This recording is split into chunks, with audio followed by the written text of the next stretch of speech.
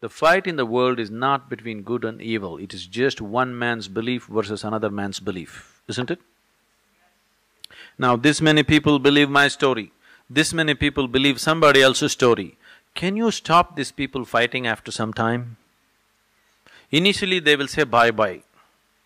Initially, they say we are all brothers, we are together, this, that. But tomorrow, when these people insist our story is right, and these people also insist, insist our story is the real reality, can you stop them from fighting? Anyway, they will fight.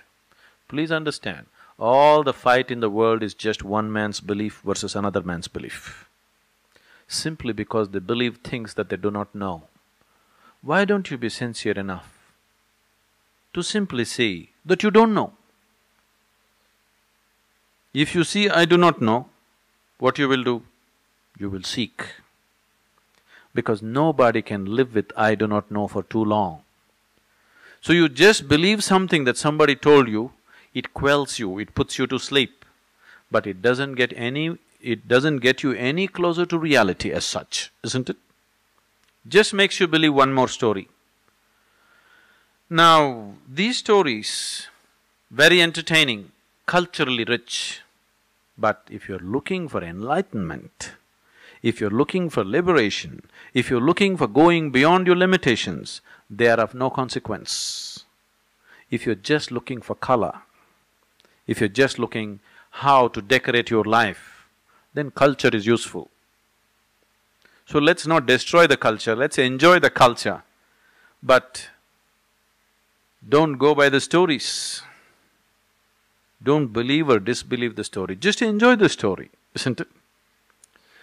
Now, when it comes to creation, instead of asking why, if you see, right now you are a part of the creation, and like you said, you're entangled and stuck and drowning in the creation, as you say. Not everybody may be drowning, but at least quite a lot of people feel that they're drowning when things go wrong at least. When things don't go the way they want them to go, they feel they're drowning, isn't it? So right now, in some way you're entangled.